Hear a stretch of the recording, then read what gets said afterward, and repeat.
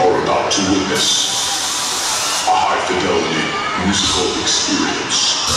Boys like